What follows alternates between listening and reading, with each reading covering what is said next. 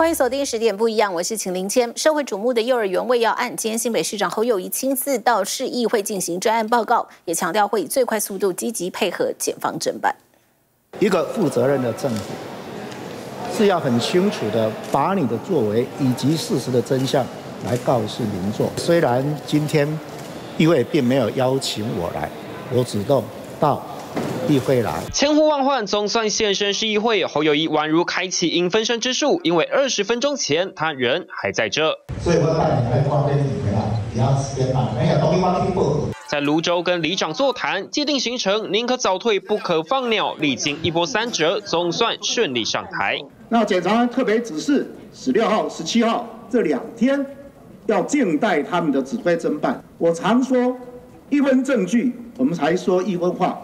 不是证据的，不要乱说话。针对案情疑点列出时间轴，侯友谊想强调的就是市府绝对没有慢动作。刘和然副市长说，他敢说哈，市府没有任何的疏失，任何的延迟，你要不要道歉？延迟。哪部分，请议员？刘和然副哦，所以没有疏失，没有延迟，立即。目前我们所有同仁都按照没问题。民进党议员直询火爆，连珠炮提问，要侯友谊正面回应。对你，你是不是目前还不知道它的来源在哪边？我想司法一定会误网误撞把它查清。你是不知道，可不可以正面回答我？你知不知道？是我问你知不知道？我尊重整个司法调查。你绿营炮火猛攻，蓝营赶紧相救。乌龙政府，狗官一堆。民进党的发言人说，四月面对家长，透过一九九九，有事有这个事情吗？有吗？没有，完全没有的话，驳斥谣言。侯友谊有备而来，长达一小时的专案报告结束后，快闪离开。能否成功阻绝火势？侯友谊内心十万火急。TVB 新闻学会山张科 SNG 小组新北报道。而侯友谊过去最常搬出中华民国宪法，化解各界疑虑。不过最近谈到两岸，他都会重申西边要稳定，减少提到中国大陆。不管是东边跟西边，甚至我们往南，我都一直强调一件事：台湾要走出世界的格局。一下东边，一下西边，侯友谊指的到底是谁？两岸很重要，两岸不但要重启对话，也要交流。不提中国，不提大陆，把西边带入两岸论述。西边最重要稳定，不要像民进党几乎都不对话，也不沟通。用替代词颠覆一般认知，似乎巧妙避掉九二共识一中敏感字。有跟侯市长谈到九二共识过吗？两个人不好意思，我们要回进场。我们已经有共识了。侯友谊说，小心啊，西边，小心啊。西边等于大陆吗？有的党内前辈鲁萨萨就怕连带是侯友谊选情一路急转直下，传出朱立伦人马现任台北市政府市政顾问陈国军也将进驻侯友谊团队，为替选情止血，但不离开现有岗位。他没有辞职，因为早上我们都还一起参加市政会议。如果他要去，你会让他去？我会再跟他聊一聊。不过，即便选情低迷，竞选的筹备工作还是得继续。据了解，后裔除了在自己的大本营板桥设立了竞选办公室，未来也有可能在台北市的新生南路设立自己的全国竞总，也就是去年底台北市长蒋万使用的竞选总部。毕竟蓝营重返首都执政就在这里，交给侯友谊，或许也盼大选延续这股气。TV 变选刘业成追动新闻分析小组台北报道。柯文哲说，以后要找黄国昌当法务部长，黄国昌很开心。我跟你讲，最快方法找黄国昌当法务部长就好了，我们不用每一件事情都自己会。如果当选总统，司法改革如何上菜？民众党主席空哲端出的解方，让时代力量前立委黄国昌笑开怀。司法改革我实在是没有 idea，你跟我上课好了。是，结果我听了半个钟头，我说算了算了，我还是我还是聘你当法务部长。是是是是，我自己搞清楚，我没办法。柯批说司法改革就听国昌老师的就对了，真的还假的？他讲话讲这么直白。这样我怎么好意思？谢谢，谢谢柯文哲主席。听到网友第一时间抱歉，黄国昌得意之情掩不住。至于个人意愿，致电本人没回应。但早在上个月他就说过，Yes I do。有机会让我当法务部长，我一定去。嗯嗯，我不会跟你矫情说啊，没有啦，吼，另找闲人呐，吼。空哲频频对小绿周手挖墙脚，实力主席王婉玉呢回点破其中不过是大选操作，列解绿营。你眼前的黑不是黑，而你说的白是什么白？周冬锦代表什么颜色？政治其实可能就像恋爱一样，虽然需要一些冲动，可能在一起，但是如果要长远发展，绝对是需要更多理性的思辨。柯文哲还是要先当选再说嘛，没有当选去做这些这个示好啊、合纵连横啊。uh, 哦，那或者对其他政党他有所企图，我相信当事人跟他们政党也会看得清楚了。揭发弊案能不能代表你就可以去当法务部长？过去邱毅委员大家也知道，他揭弊是非常厉害的。不过过去好像没有人会提到说让邱毅去当法务部长。而翻开历届法务部长，除了施启阳、马英九、陈仲谋学者出身之外，多半具有检调或法官背景。黄国昌一路走来打官司经验丰富，至于揭弊是否就适任法务部长，恐怕柯批还要先当选。在询问当事人意愿才有意义。听闻新闻，张家宝、林家慧台北采访报道。迪士尼频道去年初宣布停播之后，今天更传出旗下多家频道，包含了卫视中文台、卫视电影台，都将在今年底退出台湾市场。卫视中文台为你打开亮起来。卫视中文台二零一六年这全新主题曲响起，是不少观众熟悉旋律，但年底后恐怕再也听不见。传出迪士尼十三号上午正式向 NCC 说明，九月底会先结束旗下三个频道，包括卫视中文台、新卫娱乐台及卫视电影台，其余八个像新卫电影台、Star War、国家地理频道等，预计在十二月底结束。Disney Plus 及院线内容买卖则会持续营运。迪士尼也召开临时大会，向员工宣布十二月底前终止所有在台和在港电视频道业务，同时进行首波裁员。针对营运和广告业务，估计光台湾就超过一百人。蔡大哥，你没带刀，没带枪，一个人来，你敢跟我要钱？其实迪士尼近期自制戏剧收视表现不佳，让中文台版全部在今年四月裁撤。旗下串流平台 DC Plus 在上个季度用户减少了四百万，推测是印度和美加的客户流失，股票也跟着下跌超过百分之八。观众他现在喜欢主动在 OTT 这个平台上面去寻找他喜欢这个节目内容，很多 Disney 的竞争对手都把重兵放在整个 OTT 平台的一个经营上面。现阶段 Disney 大概做了相当程度的一个决定，也就是要把资源做整合的一个运用。不可思议的奇幻旅程即将展开。台湾迪士尼内部公布，将于本周内陆续通知内部的员工后续安排，对外则是尚未发正式声明。有 Disney Plus 的公关部员工透露，是看新闻才知道内部正开会了解来龙去脉。NCC 则表示，迪士尼报请明年一月一日起终止经营卫视中文台、卫视电影台等六个频道，部分节目将转往 OTT 平台播出。TVB 的新闻张明荣、洪婷台报道。卫视中文台许多观众从小就说看像《海贼王》《七龙珠》，而卫视电影台的韩国电影用双语播出也是他们的最大特色。是谁？赛亚人，宇宙最强赛亚人意外现身。无论是《七龙珠》或是《海贼王》，我不是礼貌，是全动这些都是卫视中文台曾经播出的日本动画，经典不败，也是收视保证。近几年，卫视也砸重金推出原创节目，拓展收视群。我买的油漆有没有工人？呃，有我好，我去帮你。你要，我帮你。那就不要了。等到你人老珠黄，我看谁要给你传绯闻。总比有人英年早婚结婚就离婚收场好吧？找来韩娱、吴念轩等人主演，在卫视中文台和新卫娱乐台播出。不过收视和口碑不如预期，反而综艺节目拥有一批死忠观众。那您乱躲哪里了？你浴室还有水啊？怎么？对啊，有毛巾啊，水箱啊。啊，躲冰箱里。胡瓜节目一主持就是十二年，随后还会将整集上架 YouTube 频道，让观众免费看，已经成为电视节目的趋势。毕竟收视习惯改变，观众难以坐在电视机前准时收看，造成收视率低迷。其实卫视频道在二零二一年之前是福斯传媒集团，随着被迪士尼公司收购，再加上 Disney Plus 登陆台湾，二零二二年迪士尼频道也终止营运。从山顶坠落的中途受到撞击，他终于死掉了。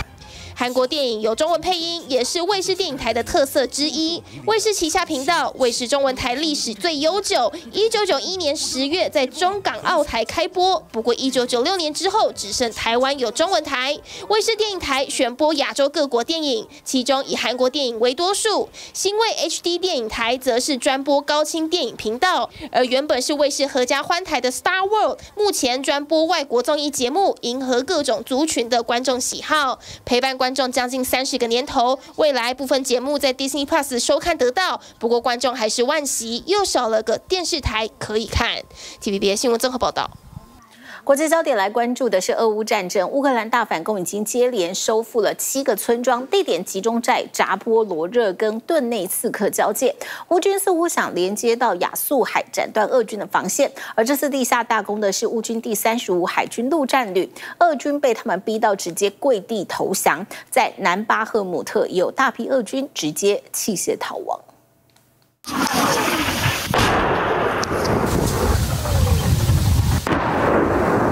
乌东顿内刺客俄乌两军继续上演火炮对决。避暑Нормально. 152 калібр працює. Стволка. Це 100%. Якась 20 чи ставушка. 但现场乌兵淡定不动，知道俄军根本还摸不清他们所在的位置。 Вони простріляться по тобі. Ну, плюс-мінус, да. Вони шукають нас, а знайти так і не можуть. Десь може птічка висить, але нас майже не видно. 镜头另一边，乌军早就在隐蔽处藏好抗俄神器 M777 榴弹炮以及堆成小山的弹药，随时能对俄军加大攻势。 Наші артилеристи це пріоритетна ціль.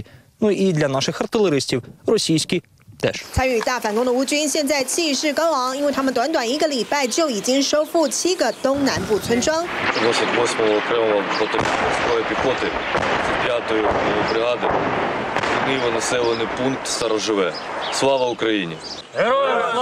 这些小村重新飘起乌克兰国旗。乌军最新夺回的地区主要集中在扎波罗热州外围，包含靠近河岸的罗波科沃，以及往东的列瓦德涅、诺佛达里夫卡、汉斯托罗热维等地，收复面积至少九十平方公里。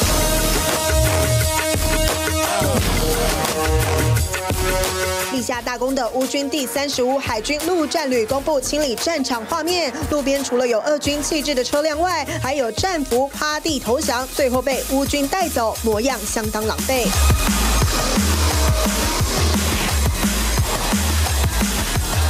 Well, they certainly have, Max. You're absolutely right. On the one hand, the Ukrainians are saying at this point in time they definitely believe that the momentum is on, on their side. And if you look at some of the gains that they've made around that town of Velika Novosilka, which is sort of the southeastern part uh, of the southern front there on the border uh, between the Zaporizhia and the Donetsk regions, we really haven't heard anything yet from the Russian Defense Ministry or from the Kremlin. 另外，乌军也在巴赫姆特以南的克列什基夫卡看到惊人景象。 镜头之机，大批的俄军选择放弃作战，他们一路沿着战壕离开，随后跑到附近的运河，然后逃之夭夭。整个过程全被拍了下来。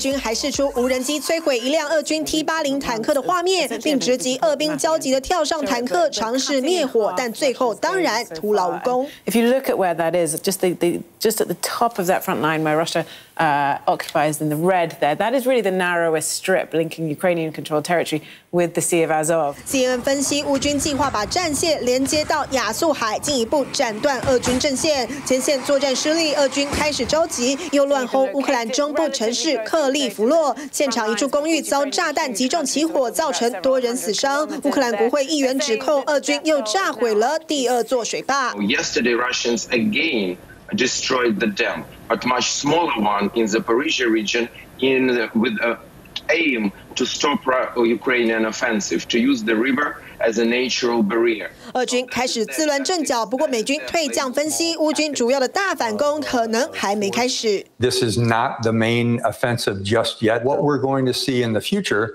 is a shift from those probing attacks or those shaping attacks into more uh, main effort and supporting efforts in key areas where they think they've found weaknesses. 研判现在只是多点测试俄军防线，不过乌军在南部地带的反攻计划，因为新卡霍夫卡水坝被炸，多少受影响。 So when you see the humanitarian crisis that this caused, uh, this would certainly put the Ukrainian commander uh, on the horns of a dilemma. How much humanitarian assistance do I provide to both the, the East and West? How many people can I get out? And at the same time, how much of the territory that's been flooded, which was probably part of the, the plan for offensive operations, do I have to shift? 尽管乌军反攻开始，但也承受一定的战损。荷兰开源情报网站指称，乌军近期在反攻中损失了十六辆美制布莱德雷战车，等于美国原乌战车中已折损百分之十五。不过，也有分析认为，这些 战损都在反攻评估之内。真正该担心的还是前线无所适从的军。别新闻综合报道。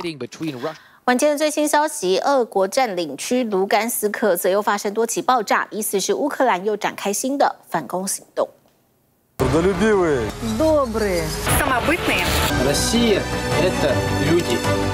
礴的音乐，再配上壮阔的自然景色，俄罗斯国庆日影片要对外展现，在这方水土滋养下，俄罗斯地灵人杰。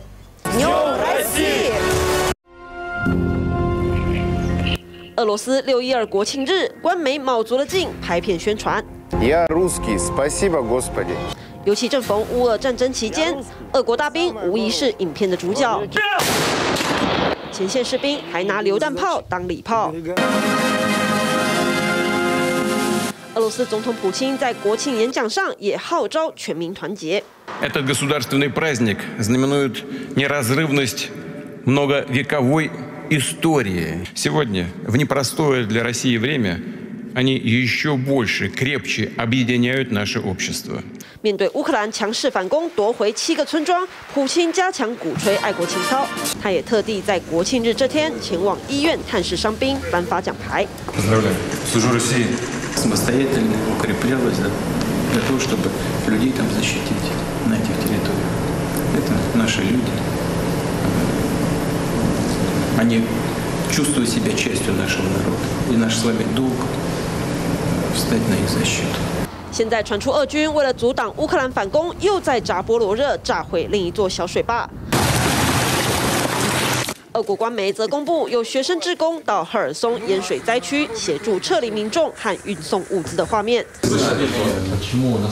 但有当地民众出来打脸，说当时撤离时不小心遗失俄罗斯护照，结果遭到俄军追杀。 удар в руку, потом по ногам пришло, и, и пос- я на- успел наклониться, и касательное пошло по спине. Они пропустили лодки туда, которые шли за людьми, а начали обстреливать. Мирное население, будем говорить. 究竟是谁炸坏俄罗斯大坝？目前还无人得知。前线俄军伤亡情况，外界依旧雾里看花。一位叛逃到立陶宛的俄国反战飞行员，罕见接受 BBC 专访，提报更多俄军士气低落的案例。 他因为反战开战初期就申请退役，结果失败，还表示尽管军中立场可能不相同，但大家一致确信前线进展根本不顺利。还有他们入伍后领到的薪水，其实只有政府公布数字的一半。Part of that is to generate additional support from the Russia peop- Russian people. He's basically signaling, I believe, to the Russian people that we have to step up the operations and that there will be ma- more pain and suffering, whether it's in uh, returned uh, injured and killed soldier, Russian soldiers, or banks shutting down. 正规军都存有异心，更不用说外包的瓦格纳佣兵团。俄罗斯国防部只好找车臣特种部队签约。国会议员也喊话领袖普里格金，说爱国就不要脱钩。 Я уверен, что данный контракт также все подразделения, которые добровольческие э, отряды, командиры с удовольствием его подпишут, потому что это дает э, тот же статус 至于乌克兰和北约国家关系越来越紧密，荷兰国防部长表示，最快今年夏天就能开始训练乌克兰飞行员驾驶美国 F 十六战机。Uh, one of the things that's different in uh, most Western airplanes is that we have, we call it so-called uh, hands on throttle and stick that you use to operate all the avionics. And usually in Soviet equipment that's uh, non-existent or at least less uh, uh, part of the design. So we just need to work with them and learn, for instance, 荷兰正准备改用 F 三五战机，目前有二十四架 F 十六战机，逐步转换后就能把 F 十六送给乌克兰。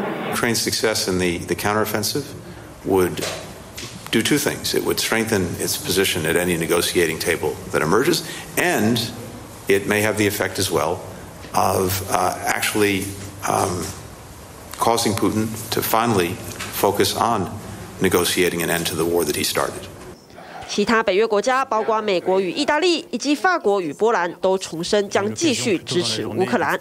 波兰总统杜达还喊话，希望北约盟友在七月峰会上为乌克兰加入北约打开一条光明大道。TVBS 新闻综合报道。全球的高温持续破纪录，加拿大野火燎原，西班牙干旱导致作物欠收。美国科学家则是正式宣布，今年的圣婴现象已经发生，而且还可能持续到二零二四。香港展出的黄色小鸭，两只变一只，其中一只热到漏气躺平，有点惊讶，总会泄气，太热了吧？理解理解。游客笑说能理解，因为三十几度高温，别说小鸭，人都想躺平了。热到恨不得全身脱光光泡在水里，海边都挤满了人。德国柏林六月初气温飙破三十度，这对欧洲人来说可真受不了。From the moment that we woke up this morning and stepped out on our balcony, it was boiling. 从德国到英国一片红彤彤，就连西伯利亚都热到破四十度，而且还不止热，想要听见下雨的声音难上加难。 Ja, ungewöhnlich ist vor allem doch in einigen Regionen in Deutschland diese Trockenheit. Wir hatten jetzt schon den ganzen Mai im Osten Deutschlands, vor allem im Nordosten Deutschlands, viel zu wenig Regen. Äh, in Rügen oben fiel nur ein Liter Regen äh, gut im, im ganzen Mai. Das ist natürlich extrem zu, zu trocken. 异常高温干燥，让气候科学家指出，可能很快就会看到发展出强圣婴现象。 El Nino is not like a storm. El Nino is not going to hit you on Tuesday. El Nino is all about changing the kind of patterns that weather plays in. 在三年的反圣婴现象过后，今年很可能出现圣婴现象，也就是沿着赤道吹拂的信风速度减弱，本该往西流的温暖海水改流向了东太平洋，使得海洋表面温度升高，打乱全球天气规律。而这通常也和全球的高温记录有关。For 2024, I think is a, a year that if you're looking for a potential global record in terms of temperatures and El Nino with the continued warming since the 2016 El Nino, um, could lead to 2024 um, being one for the record books.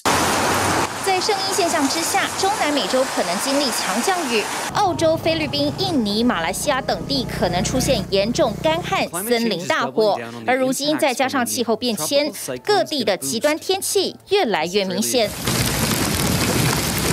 美国科罗拉多州六月还在降冰雹，西班牙则是干旱到种什么死什么。 Cinco años que estoy sembrando y estoy en este negocio, nunca en la vida he visto una, una situación como esta. Sembrar y nacer y no, no se ha desarrollado la planta por culpa del agua por, tan, tan exagerado, porque hace un mes ya que ya lo hemos perdido todo.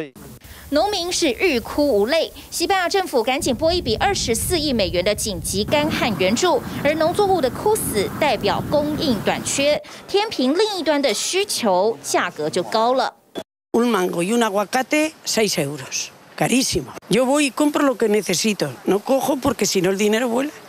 买一颗芒果和洛梨要台币两百块，西班牙物价上涨百分之十五到二十，通膨巨兽又伺机膨胀。 The first thing that we're watching out for is its effect on inflation. We all know that the, the main cause of inflation was food supply. So upside risks from the food side are emerging again. Um, chief of which is the impact of El Nino. 异常的干旱对亚洲地区的农业大国最直接的影响就是农作物欠收。 इसके कारण यही है जो गर्मी है बहुत ज़्यादा पड़ रही है और पानी है यहाँ पे पानी बहुत कम है 像是印度高温已经破四十三度，作物直接被烤焦；孟加拉热到小学停课，全程跳电，鸡都热死了。 I lost over 20 chickens today due to excessive heat. The electricity is going off for over two hours at a time. I can't even sleep properly. I feel so helpless. 靠天吃饭的农渔畜牧业难以应变气候变化冲击。根据美国达特茅斯学院的两名研究员指出，声音现象的经济冲击往往会在数年后浮现。像是一九八二到八三年的声音现象，在之后五年造成了四点一兆美元的损失，而近年的声音现象很可能会造成三兆美元损失，一路持续到二零二九。Wieder, nachdem es im Frühjahr ja noch zu nass war in Deutschland, dass wir jetzt gerade im Osten Deutschlands jetzt schon erheblich zu wenig Regen haben. Für die Landwirtschaft ist das eben ein Problem und natürlich auch für die Waldbrandgefahr. 天气热更会直接加大用电量，拉高能源成本，让通膨加剧。从天气、粮食供应到经济，一环扣一环，圣婴现象将发威，全球都得应变。TVBS 新闻综合报道。 其实台湾的水资源算丰沛的，只是为了时间跟地区的分配不均，导致缺水议题这几年不断成为关注，而且水价也是另外一个问题。用水清洗小黄瓜，接着还要洗菜。餐厅业者备菜需要大量用水，不过这些清洗叶菜的水并没有浪费。要把这些洗菜的水，然后把它回收起来以后，再利用浇菜，这就是鱼菜共生嘛。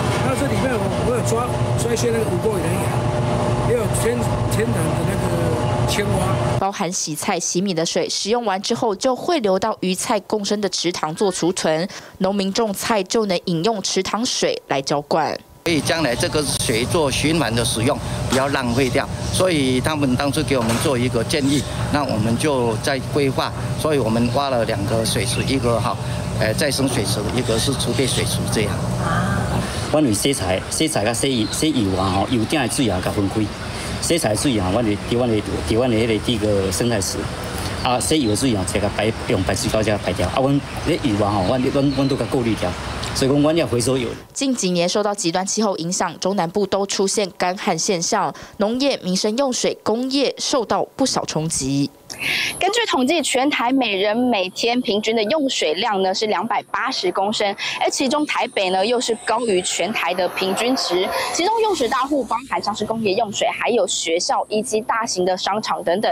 而我们台湾的用水量呢又高于亚洲其他国家。与其他邻近的亚洲城市相比，台北的用水量高于香港、东京、首尔以及新加坡。用水这么高，除了台湾水价相对比其他国家低，其他国家也祭出节水措施，像是新加坡有用水量限制，只要超出，政府就会派人到府访视，提出减量计划。因为新加坡其实它主要的水源是来自于马来西亚。所以它是一个都市型的，所以它必须靠很大的部分的海淡水或者循环用水来供应它水资源。可是台湾不是，我们有充沛的雨水，只是时间跟空间分配不均。所以我们怎么样把分配不均做有均匀的分配使用跟管理？我们相相对其他城市用水量高，可是这个是不是不利？其实我们可以用水量支撑用水量高。坦白讲，我觉得不一定是坏事。有效率的用水，我觉得那才是善用水资源。才是真正未来的方向。台湾平均每年有两千多毫米的雨量，但大部分都流入大海，所以换算每人每年可用的用水量只有一千公吨。目前经济部也针对每月用水超过九千度的用水大户，每度加征三块钱耗水费。四月与去年同期相比，南科的节水率有达到百分之十八点九。最近呃推动的一个措施，就是在二月一号开始要开征的这个耗水费。目前会有呃每月用水九千度以上的这种这个厂商，他们就必须来缴纳这个耗水费。